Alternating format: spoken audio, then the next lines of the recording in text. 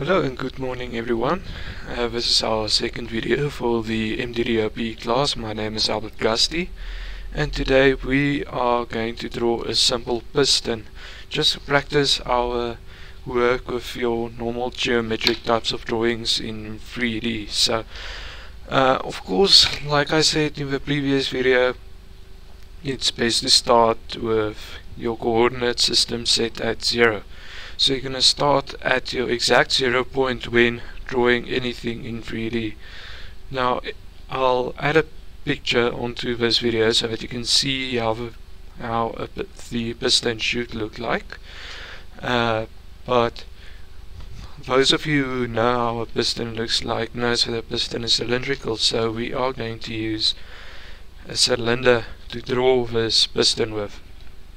Now to make things a little easier for yourself while you're drawing in 3D, I always suggest to go here up top, add view and change your view to shades of grey. This will make it a little easier to see how the drawing would look like uh, while you are drawing it and to rotate your box here at the top corner so that it is in isometric. In this case just click on this corner so you can see the top, left and the front views.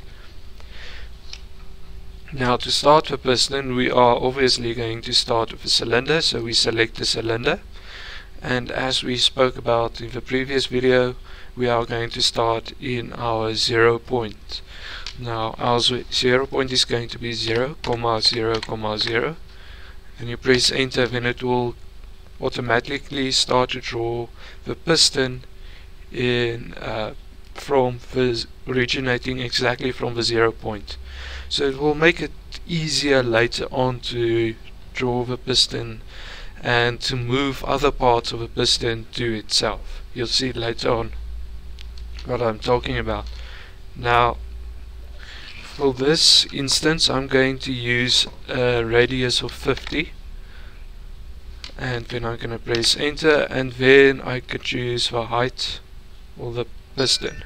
Alright, you'll see why I'm not going to use the height of the entire piston as seen on the drawing there in the corner uh, because we need to put add in grooves for the piston rings and to do that it's actually quite easy. There's a few ways of doing it. I'll show you the easiest way to do it. Right, so first, the first part of the piston I'm going to draw out is 100 millimeters high. And press enter and presto there's the base of my piston. Right. Now I want to start adding in the grooves for my piston uh, for my piston rings now the first one will be for my oil ring so I choose a cylinder again. Right. But instead of trying to click on top of the piston and trying to find the exact center of it you can type in the coordinates of that point which is going to be 0 my x-axis 0 my y-axis. But the top of this piston is 100 millimeters from your base 0 on my z-axis so I will type in 100 and press enter. Now I'll see it will start to draw the cylinder exactly on top of the main cylinder for this piston. But now we need to type in the radius of the cylinder first.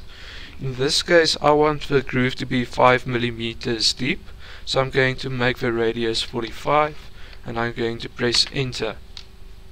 Now now I can actually type in the height of that groove. Now in a lot of instances you can either drag your mouse up and then add the dimension or you can just type in a positive number.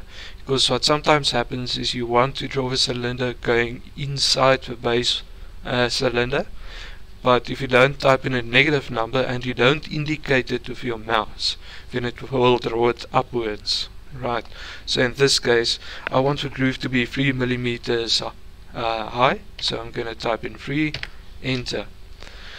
Now I've got a basic groove for my oil ring already drawn out now. So that's fine. I don't need to worry about anything else right now. Now I want the next uh, groove.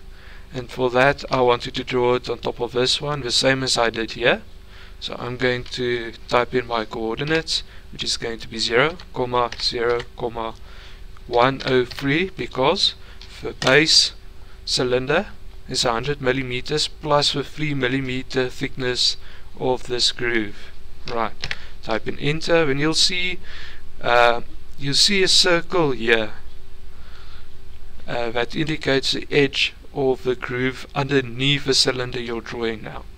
But I'll show you how to merge all the parts together as a single part a little later on. Now, I'm going to type in the radius for the cylinder and it is 50 millimeters. Now I can obviously now type in the height of my cylinder and I want that groove to be 3 millimeters thick. Enter and that's about it. When you do the same to get the other two compression ring grooves. So again 0, 0, 106 because it's a thickness of this groove and this groove plus 100 millimeters for the base of the piston. Type in enter, type in the radius, enter, then of course the height of the cylinder is going to be 3 enter when you just add in the, the next groove which is going to be 0, 0, 109 type in the radius which is 50 type in the height is 3 enter. Now I've got the groove for the oil ring and one for the compression ring but I still need one more groove for the second compression ring. Those of you that have worked on automotive engines or any lawnmower, petrol or diesel engines and uh, has a basic knowledge of mechanics and mechanical engineering would understand why you have two grooves for the compression rings. But anyways, we're getting off topic here. So now I just want to add the last groove here. So the center is going to be 0, comma 0, uh, 12 enter sorry. It's going to be 0 comma 0 comma 112 because it's the height of all these grooves added with the base. And the radius is going to be 45 height is going to be 3 and then I'm going to add the top of the piston. So it's going to be 0, comma 0, comma 115 enter. Radius is going to be 50 and the height is 5 millimeters. And there you've got the basic shape of a piston. Right.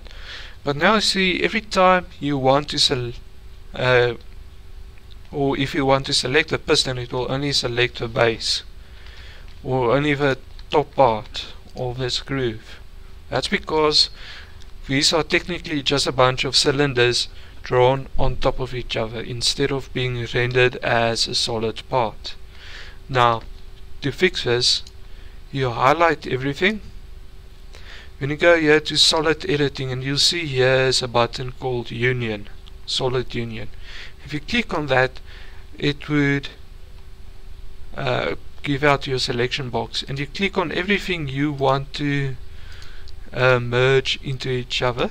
You press enter you'll see when you highlight it it's drawn as a single part. Right. So if I undo that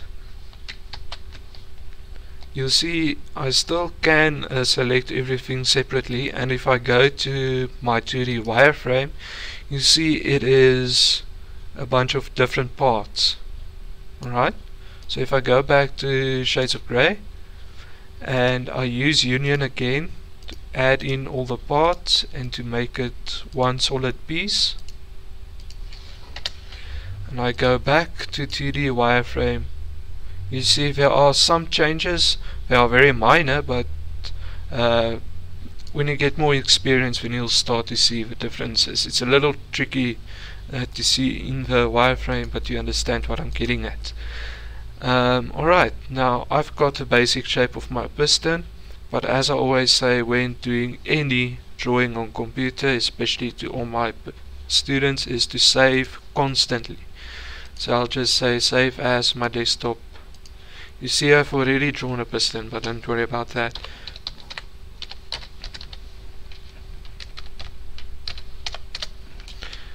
so now every time when you've done a certain part of a drawing? You click save. Alright. But just remember in 3D it can get a little tricky and you want to sometimes backtrack a little bit. So it's not always an exceptionally good idea to save every 5 minutes. Maybe save every time you're confident the drawing is correct up to that point because you can't undo once you've saved a drawing. Right. Now I want the hole for the gudgeon pin inside of my piston right now to do that, uh, there are a few methods of doing it. Uh, I just found the easiest method is the one I'm going to show you now, which is to draw a separate cylinder and then to use solid subtract to cut away that second cylinder out of a piston. Alright, so I'm going to explain it to you guys as simply as I can. So I'm just going to my front view and I want the hole to be here in the middle, right? So I'm just going to turn it into isometric so that it's a bit easier to see. And I'm going to draw a new cylinder, but remember in AutoCAD 3D it will always draw the cylinder uh, standing upright, right? The same as here. You don't have really an option to rotate it while you're drawing it. Right. But to make things easier, draw the cylinder so that it's also on your zero point, but much higher than the piston itself. So I'm going to type in 0, comma 0, comma let's say 200. Right? And let's say we want the hole for the gudgeon pin to be uh, let's say 50 millimeters in diameter, so I type in 15 radius. And then the height of a cylinder doesn't really matter but it's good to choose a height so that you can remember it when you have to move it around because I'll show you later why it's a good idea to choose a, uh, a set height for that cylinder so in this case I'm going to use 120 millimeters. You can use any height that you want to but I always suggest keeping a little notebook with you to write out the sizes of the parts that you're drawing so that it's easier for you to uh, remember what coordinates to use. Right, now I want to rotate this uh, cylinder here, so I'm going to use 3D rotate because if you are just going to use normal rotate it will only rotate it around its x and y axes not around its z axes. Right I'll explain to you. Uh, so you're going to choose this button up here. Uh, looks like a funny ball thingy. It says 3D rotate. Then it will say select object so you're going to select the cylinder type enter. Then it will ask you the base point. Alright now in this case uh, you drew it exactly in the center of your x and your y axis so it's 0 comma 0 comma. The height is 200 the height of the base above uh, the zero point is 200 millimeters. But I want it exactly in the center of my cylinder so it will make it easier for me to move it in place. Right. So I drew my cylinder 200 millimeters high from my zero point on my z-axis so it's 200 plus this half of a cylinder so it's 260 enter. You see this uh, if this widget didn't move then you know you did it correctly and you chose the correct dimen uh, the correct uh, coordinate. Alright so because this is a front view of my cylinder. I want the hole to be on this side of the cylinder so I'm not going to rotate it around this axis but I'm going to rotate it around this one. Right. But I ask you to pick a rotation axis now these circles here. Indicate your rotational axes and you can choose any one of these to rotate your drawing around. Right. I'm going to choose a red one because I wanted to rotate about my x-axis. And it will ask you your uh, start angle uh, you'll see here just rotate it till it's at or move your mouse until it snaps to 180 degrees. But remember for this to work your polar tracking has to be uh, on. Right so you can check for 180 90 or even uh, uh, 0 degrees if you want to I just use any one that's closest in this case 180 and then I just make sure that it snaps correctly in place and I click again uh, and the cylinder is rotated correctly. Right so if I go to my front view it will show you exactly where the cylinder and my piston is in, re in relation to each other. Now I just want to move this piston downward. Alright uh, I want the hole for for the gudgeon pin to be 60 millimeters from the bottom. So it's going to be 260 minus the 60 this difference. It's going to be 200 millimeters. Alright so I'm going to select it. Click move. Click the center point here. I'm using only 2D move that's because I only needed to move in one direction of course and I'm in my front view here so I can just use 2D move so I click there at the center of a uh, cylinder and you see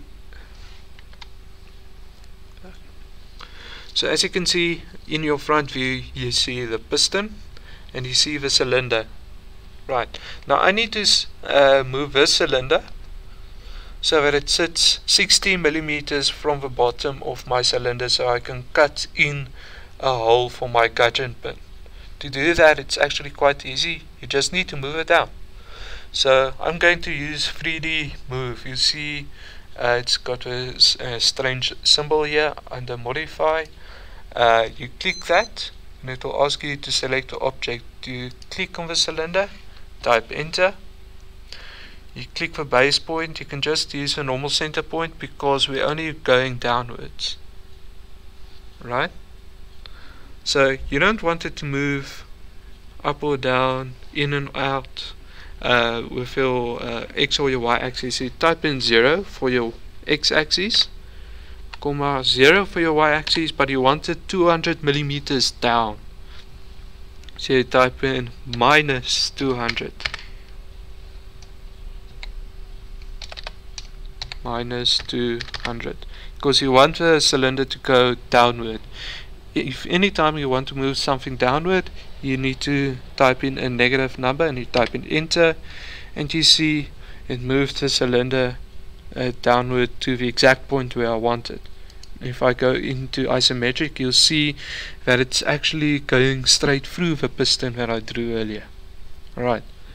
But I want it to be a hole not a cylinder alright now to remove a cylinder and to take out the material that's the same shape of a cylinder I use subtract.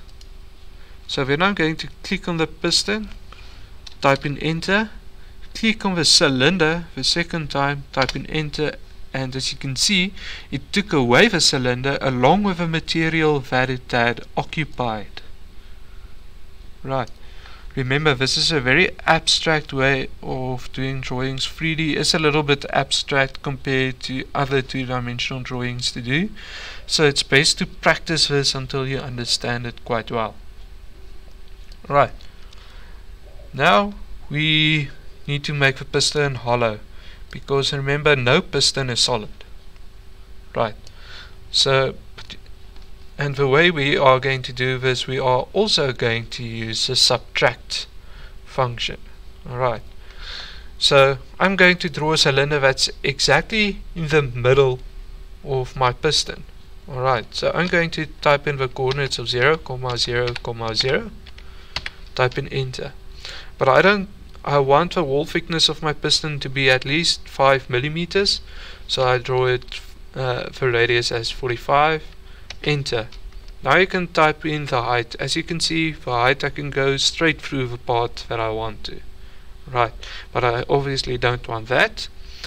And in this case I want it to be don't want it to go deeper than the groove of my uh, of my o-ring here so I'm going to take it only about 90 millimeters up. Type in 90 enter and it's done.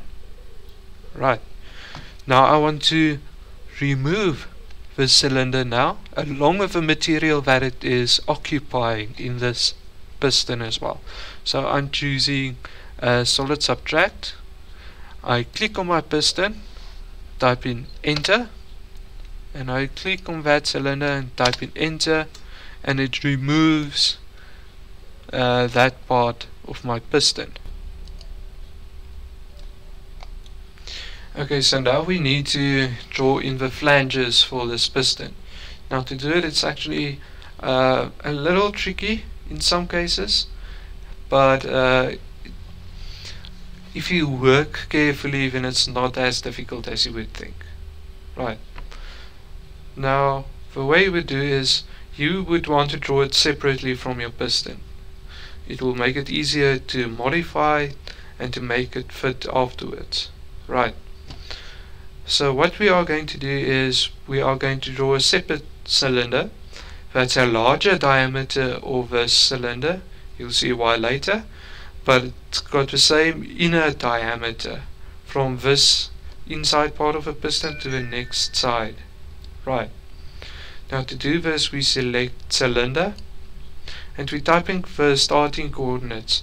We want it to be 200 millimeters away from the piston. In my x-axis the same as we normally use. Uh, type in comma we type in 0 for my y-axis because we don't want to move it in that direction the direction of that green line. And we still want it to be on my 0 point on my z-axis so I type in 0 enter.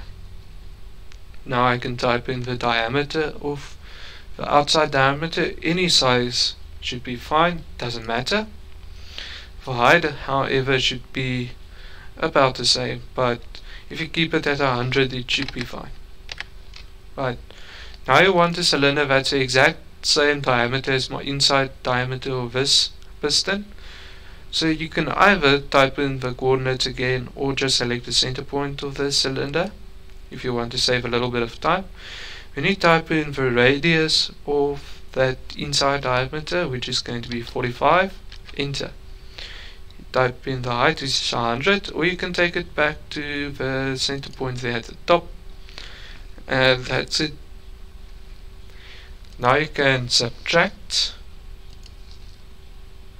uh, the smaller ring from the larger ring. So you uh, select the large uh, cylinder type in enter select the small cylinder type in enter and it will remove it right now I need the, to draw in the flange in here so that I can cut away the radius that I need so that it will fit into the piston without causing any other issues now to do this is actually quite easy. We do it the same way as we got the hole in this piston itself.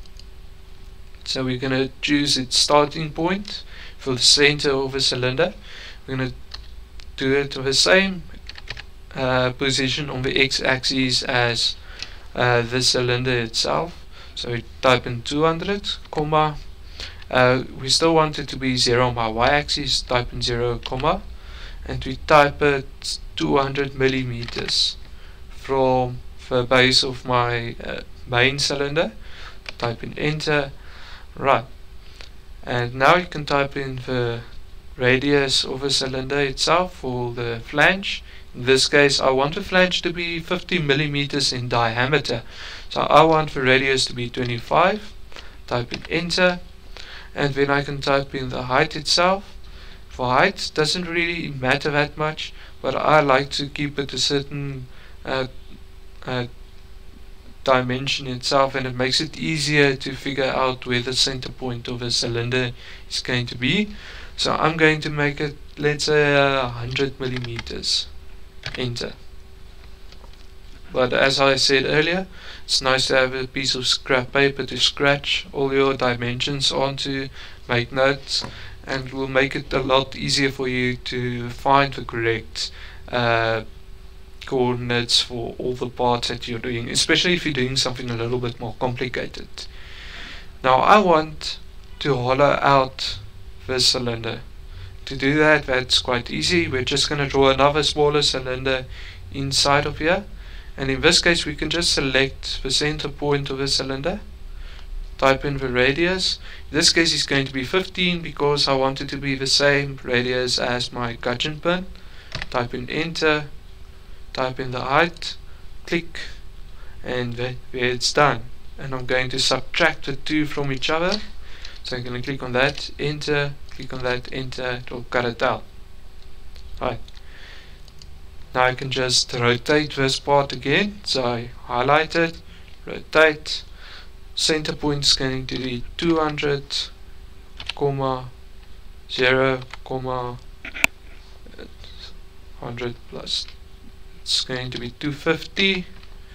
Enter. Going to use red ring because we used it uh, drawing in the hole for my piston itself. So we're going to use a red ring again. Click. And click once it's snapped into position right? Now I want this cylinder to be 100 or 60 millimeters from the bottom of the cylinder the same as here to make things a lot easier for myself in the future. So I'm going to move it again so I'm going to choose the center points can be 200 by 0 by 250 enter. Now you can see you move it around any way you want it but it's easier to use your coordinates in this case. So I'm going to use I'm not going to move it on my x-axis not going to move it on my y-axis but I'm going to move it lower. So 60 millimeters lower is uh, 190 millimeters so I'm going to go down minus 190 enter and it will draw it in for you. Right. Now I want to subtract this cylinder from this so that I get a correct curvature. You'll see a bit later what I mean by that. So I'm going to subtract uh, this one from this one and it will give me the correct curvature. Right. Now you'll need this curvature uh, to fit exactly inside this piston because we might want to add a little fillet to make it look more authentic a little later on. But now this uh, cylinder only needs to move to my left. Right, so we're going to highlight it. Choose 2D move because it's only going to move on my uh, x-axis. So type in the center point on my x-axis or the center point of my cylinder. On my x-axis is 200 comma 0 on my y-axis and 60 on my z-axis. Enter. I only wanted to move 200 millimeters to my left so I type in uh, minus 200 because it's moving to my left. Type in enter why hasn't it moved? Right so we're going to try it again. Move. Base point is going to be 200 comma 0 comma 60 enter. It's going to move 200 millimeters in this direction. So I wanted to move uh, minus 200 my x-axis comma 0 my z uh, y-axis and 0 on my z-axis, type in enter and it should move to a correct spot. Right, now see fits in exactly, doesn't overlap here or give you any strange shapes here. That's why I did it separately. Right, but now if we look at the bottom view, let's just rotate it correctly, you see that we need to remove a piece here so that the connecting rod will fit into the piston. To do that it's actually quite easy. Uh, we just need to draw in another box so that we can subtract the box from this part of the cylinder. Alright, so we're going to use 25, comma 25, comma 0, enter. We're going to type in the dimension which is going to be minus 50 comma minus 50 enter height 90 enter you see why once we're starting to remove the material. Alright now we're going to subtract uh, this one from this one and you'll see it will cut away this part nice and neatly. Alright so there is a very very simple piston of course you can add a lot more detail but that's the basics of how to use union and subtract to uh, get a very specific shape that you want to and to draw something as simple as a piston. Of course you can go into detail now and draw in the oil holes and uh, the slits here for the uh, uh, split pins and the, the, spring pins to keep the gudgeon pin in place. And of course you can add the fillets here at the radius to make it look more like a casting. And yeah so there's a lot of things you can still do. And I hope this video gave you guys some extra clarity on how to use three-dimensional drawings in AutoCAD. And by the way I used the workspace 3D modeling because 3D Basics doesn't have all the functions you would need to do this. Right. So thank you for watching and stay safe and I, I hope you have a great day. Thank you